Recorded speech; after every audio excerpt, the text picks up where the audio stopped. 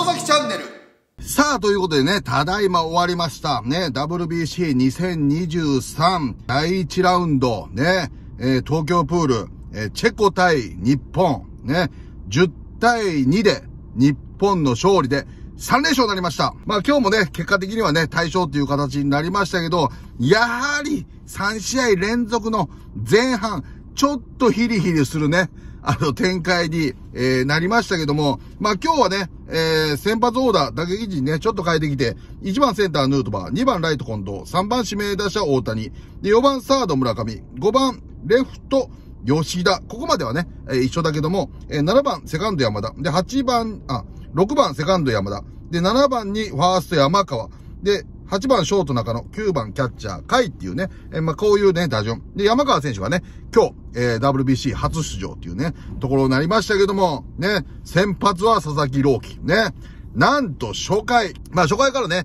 163キロ、160キロオーバーばっかり、えー投げてね、えー状態の良さを伺いましたけども、えー、ツーアウトからね、えー3番クラップにレフトへのツーベース、ストレートをね、弾き返されて、そしてツーアウト二塁から4番、えーセルベンカにショートゴロ、中野がファーストへ、えショートバウンド悪送球。で、それをね、山川選手が取れず、なんとエラーで先制点を取られるという、えーまずい展開。で、これね、解説、えー、アマゾンプライムでね、井端さんとやってましたけども、井端さんもね、言ってましたけど、中野選手はね、まあ、今年からセカンドになって、やっぱりね、足のステップを使わないスローイングになってるから、ね、あの、ステップがしてるようでしてなかったと。あと、無駄なステップもしちゃってね。だから、取ってからワンステップで投げればよかったのに、無駄にツーステップしちゃったことによって、で、しかもね、トップがね、入ってなかった。もうここらぐらいからね、投げちゃったっていうところではね、まあ大事にいっちゃったっていうところもあるけども、イバスさん曰く、まあセカンドの練習で、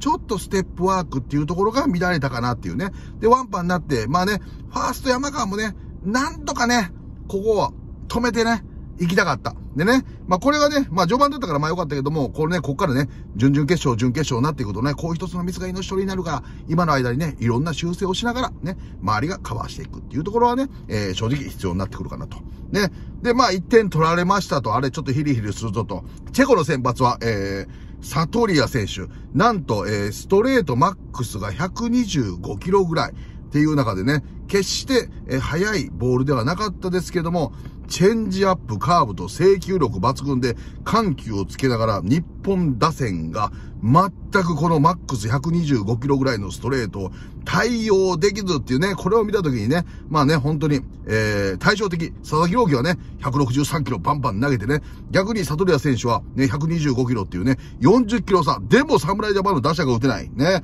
えー初回、えー、1番、えー、ヌートバー空振り三振、2番、近藤見逃し三振、で、3番、大谷チェンジアップを引っ掛けてファーストゴロと、三者凡退と、めちゃくちゃ腕は振る、チェンジアップ、パームみたいな感じで、落ちはすごいね。ストレートも若干、フォーシームで投げてるけど、若干ツーシームするかなみたいなね、軌道もありながら、タイミングなかなか取れずね。で、2回裏もね、村上見逃し三振。で、吉田ね、センター前ヒット。で、山田哲フォアボールになるけども、で、で、山川がセンター前ヒット満塁。よしよしよし、ここで1点取っていこうっていうところでね、8番中野セカンドフライ。で、9番甲斐がね、サードゴロと1点取れず。いやいやいや、若干また、ひりつくぐらいの試合展開になっちゃったねっていうね、えー2回まで。でね、ここでね、まあ、辻さん、そして井端さん、佐々木含め3人のね、えー意見としては、やっぱりね、目付けを高めにして、ちょっと低め変化量が大きいからね、目付けを高めにして、ね、えー中間速度で待って、高めをね、打っていこうっていうところでね、解説入りましたけど、3回ね、えーワンダウトから、そのね、近藤が、できるだけ引きつけて引きつけて、思いっきりね、振り抜いてライトへのツーベース。で、大谷がね、ワンバウンドをね、空振り三振ね、この時にね、初めて足をちょっと上げるっていうね、ところで空振り空振り三振。で、ツーアウト2塁から村上のフォアボール。これ大きかったね、フォアボールね。で、ツーアウト1塁になって、吉田選手、高めのね、チェンジアップ入ってきたところをね、見事に、えー、レフトにね、タイムリーツーベースね。ちょっとね、外野が右中間方向にね、あライト方向に寄ってたからね、レフト、ね、結構空いててね、うまくね、反対方向へ、レフトへね、タイムリーツーベース。で、ツーアウト2塁からね、山田哲人ね、レフトへタイムリーヒットと、もうね、副長やっぱ本番強いっていうね、しっかりね、ここで、3点逆転してね、よし、これでね、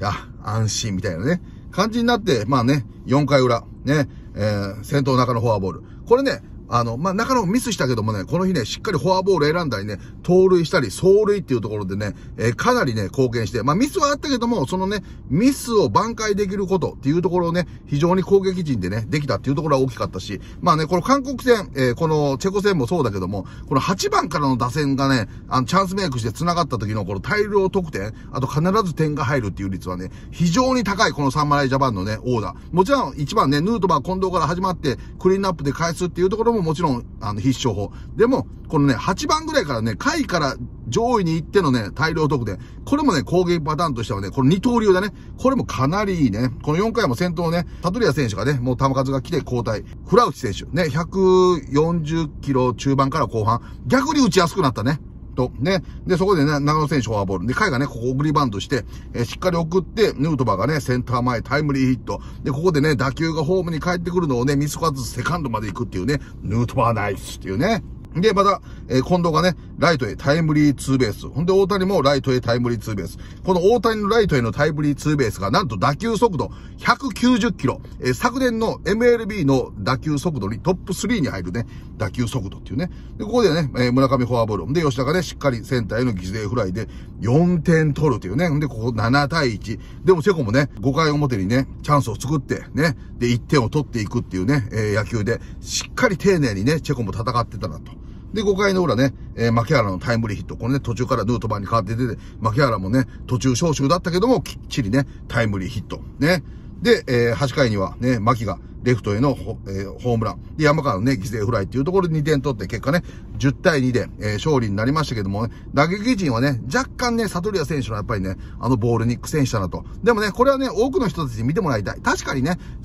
あの、スピード、ね、それは出るに越したことないし、160キロ出たらね、それはそれに越したことないと。でも、野球は球速だけじゃないっていうところがね、今日このね、チェコのサトリア選手のね、ピッチングで見たと思う。125キロでも腕をしっかり振って、緩急をつけながらね、投球すれば、あのね、メジャーリーガー大谷でも三振してしまうっていうね、125キロ、110キロでも三振してしまうっていうね、この投球術。こういったところはね、多くの、え野球少年たち、あとアマチュアの指導者の皆さんにはね、夢とか希望とかね、この方法論っていうところがね、学べたと思うんで、こういったところはね、ぜひ真似してもらいたいようなね、え投球術でしたね。しかも全体的にこのチェコのね、今回 WBC 初出場でしたけども、本当に丁寧な野球でしたし、あの、打撃っていうところもね、160キロ、力負けすることなくね、ヒットでね、チャンスメイクっていうところも結構あったしね、この、えー、3回の表もね、ワンアウトからね、ソガード選手、ストレート、ライト前ヒット、で、クラップ選手、フォアボールと、チャンスを作りながら、まあね、セルベンカ選手、えー、メンシク選手がね、えー、続かなくてね、点入らなかったけども、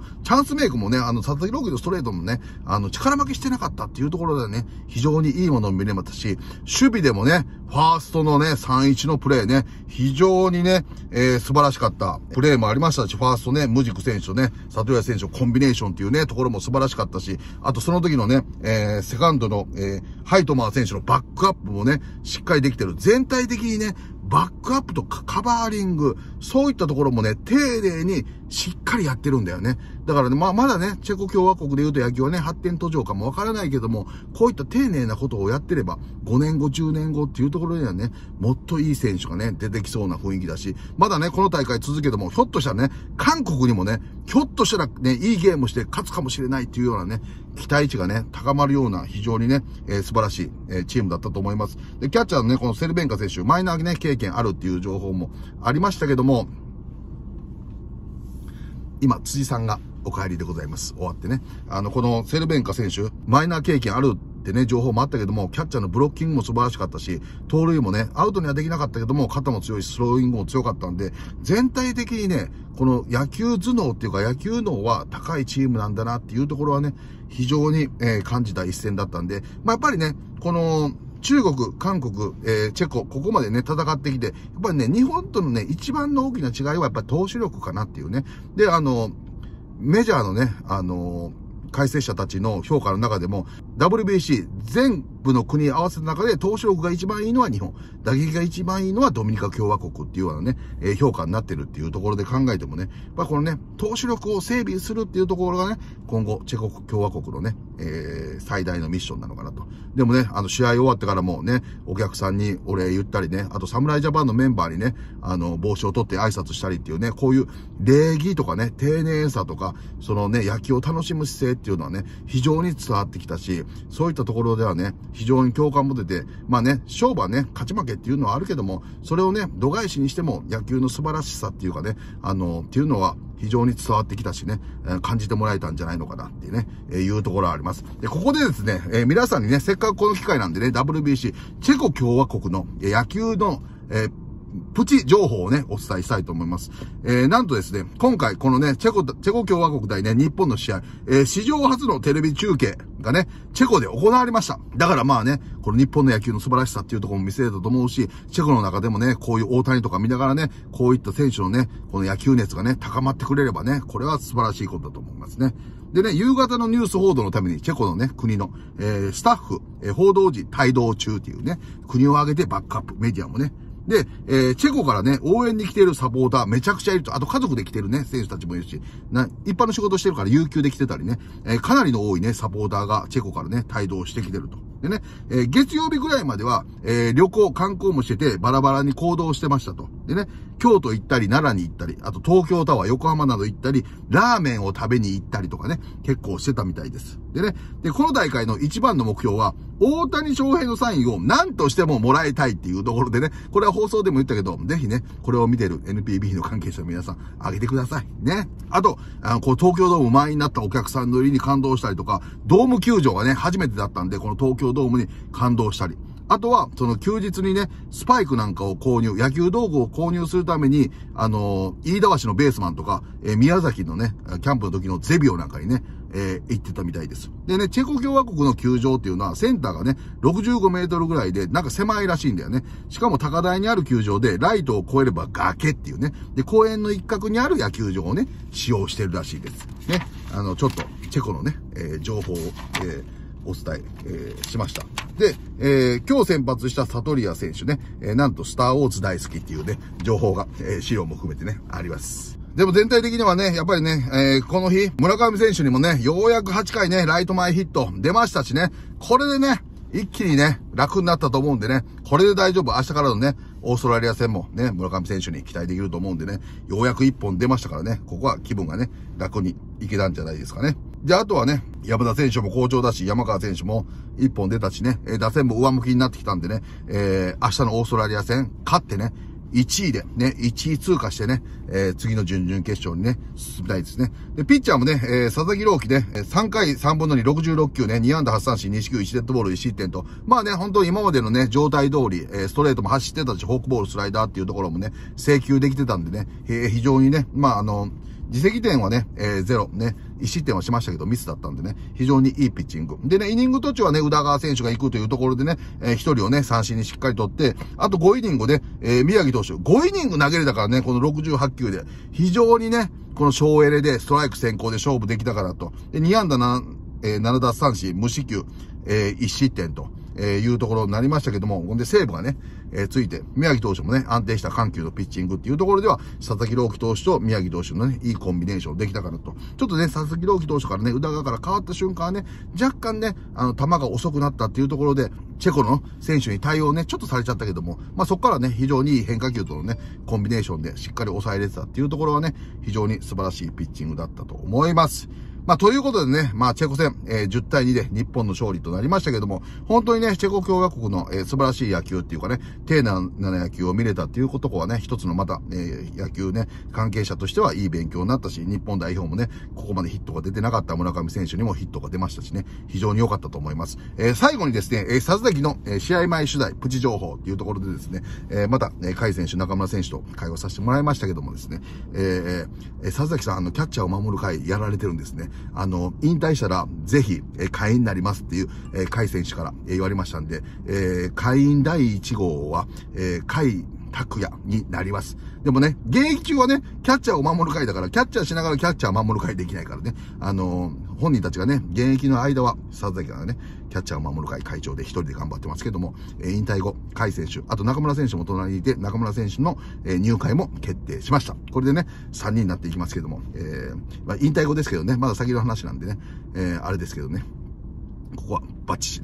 で、いきたいと思います。でね、中野選手もね、インタビューしましたけど、昨日いいところでね、高めのストレートだったけど、スリーベース良かったねって言うとね、あの、緊張しすぎて、もう何が何だか全く覚えてないですっていうね、それぐらいのね、この WBC の緊張感の中ね、みんながね、戦ってるっていうところはね、でもこれを克服しながらね、いろんな経験をしていくとね、いろんなところでね、またメンタル的にも強くなるしね、中村選手と会話した時に、えー、サスさんが言ってたね、あの、WBC 経験すると、他の試合が全くプレッシャーとか緊張感なくなるよっていう意味が、えー、韓国戦出て、あの、言ってたことの理解がすごく意味が分かりましたっていうね、ところでは、やっぱりね、この経験することがね、財産になっていくんで、まあね、ここからもね、トントントンっていかないかもわかんないけども、侍ジャパンの選手たちにはね、まあ、村上選手も苦労あったと思うけどもね、いろんなところで難しいことあるけども、これを糧にね、この大会ぜひね、世界一になってもらって、で、今後の野球人生にね、さらにつなげるためにね、まあ、まだここからね、いろんなね、ミスとかね、苦しいこととか劣勢になることあるけどね、自分たちのやるべきことを信じてね、誰かがダメでも誰かが助けるっていうね、チームの輪でね、ぜひ世界一になってもらいたいと思います。ということで、3月11日ね、佐々木朗希、ね、運命のね、登板にも完璧なピッチングを、えー、しましたし、えー、ね、各選手たちもいい形のね、輪を、えー、広げてね、えー、カバーしきれたと思います。えー、ということでね、えー、3月11日、WBC 第3戦、えー、チェコ共和国戦10対2で日本3連勝でした。ということでね、日本世界一へ頑張れ WBC!